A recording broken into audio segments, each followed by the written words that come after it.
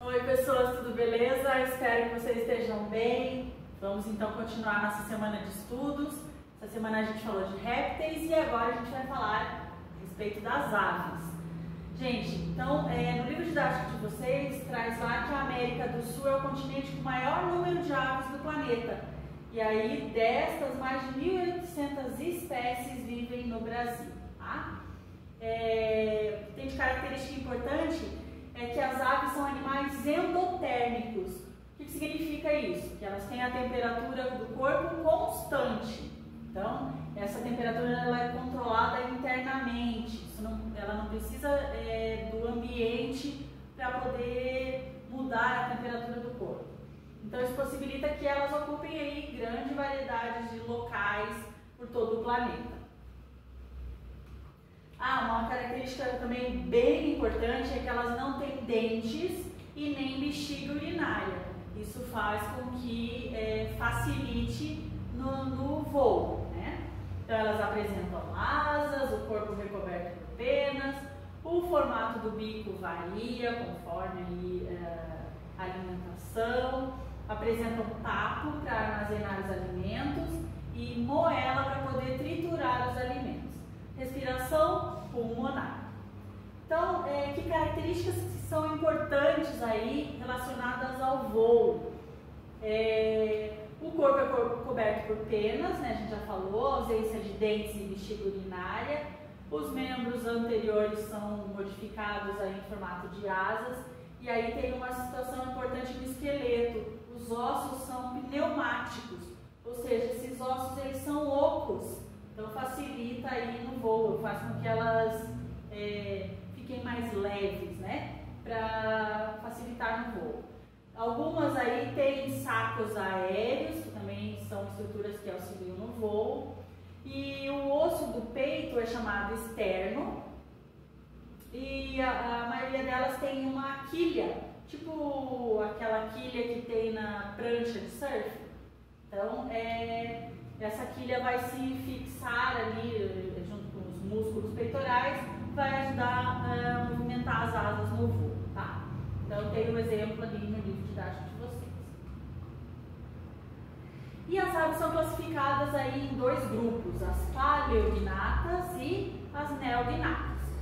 É, as paleognatas, elas não voam, tá? Por outro lado, elas compensam essa situação aí de não voar essa incapacidade de voar, é, com as pernas. Então, o que, que acontece?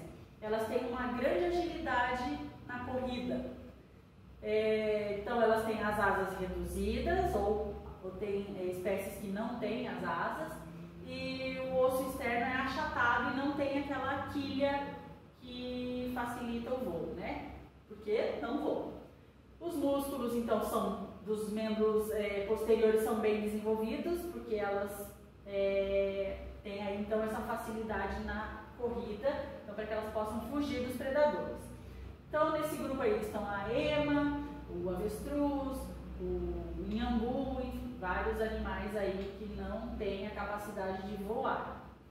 As neognatas, por outro lado, é, conseguem voar, então essa é a característica desse grupo. E elas têm o osso externo em forma de quilha, né, que contribui para a aerodinâmica, os ossos são pneumáticos e apresentam uma redução aí na massa corporal. Tá? Exemplos ali de o sabiá, né, todas as aves que conseguem voar. No livro didático de vocês também traz essa estrutura aqui assim, ó, gente. É, no finalzinho da traqueia, quando acontece a bifurcação ali para os brônquios, existe essa estrutura chamada siringe. É a estrutura que é adaptada para o canto. Tá? Então, o que acontece? É, eu estou falando canto, mas é, são os diversos sons né, das aves. Então, uh, o ar passa por ali e a vibração do ar faz com que esses sons é, sejam emitidos. Tá? Então, essa capacidade aí de produzir sons pode ser utilizada para marcar território, para atrair uh, a fêmea né, ou o macho. Então, é, comunicação com os filhotes, os rituais de acasalamento, é, espantar predadores ou é, os, os, da mesma espécie que estejam competindo, tá? podem ser várias situações aí. Cada espécie tem uma vocalização própria, como também algumas espécies não conseguem emitir sons.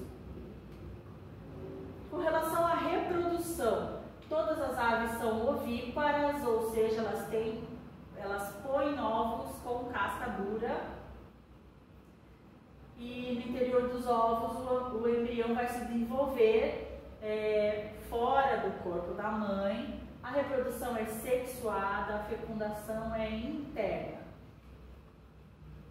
Então vamos identificar aqui o que acontece lá nos ovos. É, Para que os embriões eles possam se desenvolver, é necessário que os ovos, ovos sejam chocados, mantendo a temperatura em torno de 40 graus. Então, o ovo que não foi chocado, ele apresenta ali a casca, que é rígida, mas tem poros que vão permitir a passagem do oxigênio. Tem a clara, que vai atuar como um amortecedor lá para proteger o embrião. Uh, tem a calasa, que é aquela estrutura branquinha que tem no ovo, é, que vai é, sustentar a gema, para que a gema não fique batendo ali né, contra a casca, então vai manter afastado da casca. É, a gema, que é formada lá pelas substâncias nutritivas que vão alimentar o embrião, e ali aquele pontinho ali que normalmente a gente consegue observar em cima da gema é o disco germinativo, que vai dar origem ao embrião. Tá? É, quando acontece lá é, do, que a, o ovo é chocado, então o embrião vai se desenvolver, então observe aqui nessa segunda imagem. Então, tem o embrião que vai receber os nutrientes e o oxigênio né, por meio dos finos vasos sanguíneos. Então, tem ali os vasos sanguíneos. A câmara de ar que vai conter uma reserva de ar necessária para que o embrião consiga respirar enquanto ele está protegido aí pelo, pela casca do ovo. Importância ecológica, muita, né? Importância, é, tirando aquela questão lá das teias alimentares, elas são bastante importantes, por exemplo, no processo da polinização, na dispersão das sementes, é, naquelas situações lá onde eles se alimentam dos restos de matéria orgânica para não ficar acumulado aí no ambiente. É, as fezes podem ser utilizadas como fertilizantes. Alimentação entra naquela ideia lá da teia alimentar, né? Então é isso, gente. Tem várias aí é, tarefas para essa semana, né? Tem a tarefa lá, as tarefas relacionadas ao grupo dos répteis e agora ao grupo das aves, tá? Então, bons estudos para vocês. Qualquer dúvida, pode tirar lá na live ou mandar um WhatsApp lá no grupo ou para a prof, tá? Beijos e boa semana!